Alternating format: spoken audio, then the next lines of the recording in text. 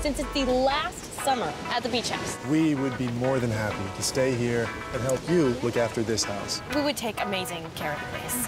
What do you say? Okay. To the last summer at the beach house! Good morning. It is one o'clock in the afternoon, sunshine.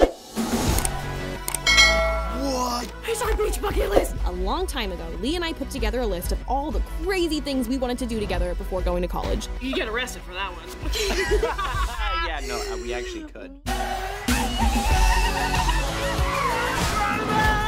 But when you decide to escape reality, eventually you're gonna have to come back to it.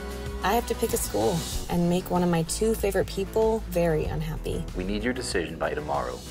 But I wasn't ready to say goodbye. It was our last summer together, and I was gonna make it count. Oh, God! this is the best day of my life! I'm gonna murder you! Noah, can I talk to you for a second? What's going on? I got off the wait list. So is she gonna make a decision just for me? Look, if you trust her, then you've got to believe what she says and nothing less. No? Oh my god. I hope things can be cool for us. Of course it can, yeah. this one was gonna be tricky.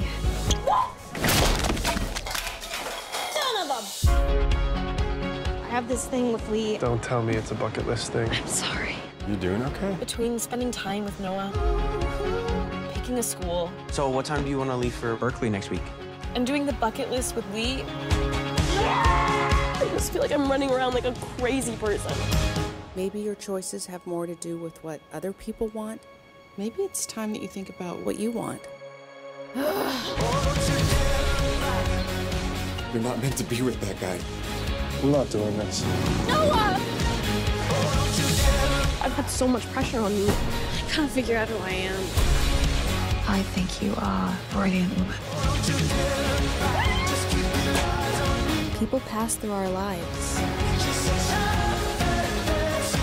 Some of them fade into memories, but a few become part of who you are.